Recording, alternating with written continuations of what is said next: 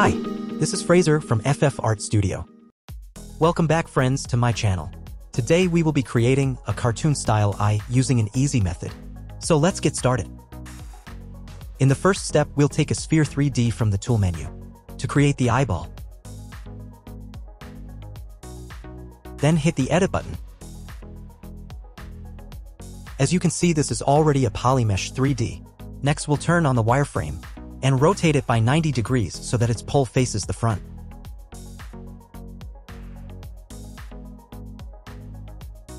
Let's divide it a few times to get more polygons to work with smoothly.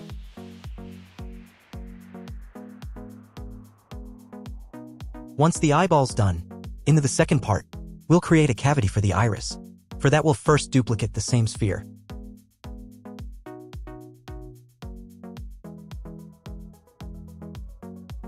Now to the most important part, we'll be using Live Boolean to create the cavities in the eye. So turn on the Live Boolean button. Now position and scale the second sphere. We can turn on the transparent mode to see better.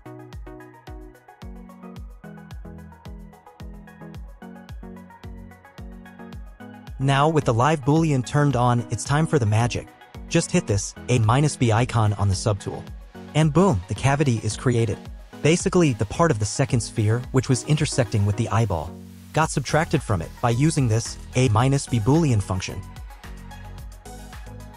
Moving on to the third step, let's create the cavity for the pupil. For this, we'll follow the same process. Duplicate the sphere, and with the live boolean on, adjust its size and position to get the desired cavity.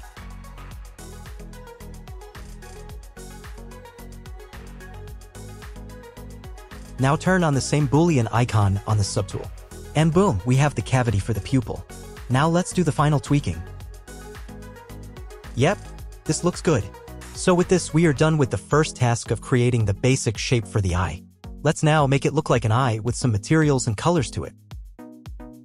For this we'll need the color menu, so we'll select it from the menu bar and drag it, holding the wheel icon and dock it to the side panel. Now for changing the material and applying the colors, turn off the Z-Add button and turn on the mRGB button. Now with the eyeball selected, click on the Materials tab and select the toy plastic material from the Materials panel. With the color selected as white in the color swatches, go to the Color panel and hit the Fill Object button. This will lock the material and color to the geometry. Next, we'll select the mesh used for creating the iris and change its color from the color swatches a light bluish shade will look nice. Yep, this looks good. Let's lock it to this portion by hitting the Fill Object button. Last but not the least, coming to the pupil, we'll select its mesh and change its material to basic material. That's because we don't want it to have any kind of specular or shine. Then, apply black color to it and hit the Fill Object button. Now, coming to the final step of modeling the eye by this method, we need to get a single mesh for the eye. For that, we'll scroll down the Subtool panel and go to the Boolean option. Under this we'll find the Make Boolean Mesh button. Just click on it, and boom, we now have a separate subtool for the eye. And friend, if you are still watching, it means you like the video, so don't hesitate to like it. Also, if you haven't subscribed to my channel yet, please hit the subscribe button. You go ahead and just do it. What are you waiting for? One more thing, we also have some awesome collection of relaxing and work music playlists I'm sure you will love. Nevertheless, if you have any queries or want me to create a video on any topic of your choice, please let me know in the comments below.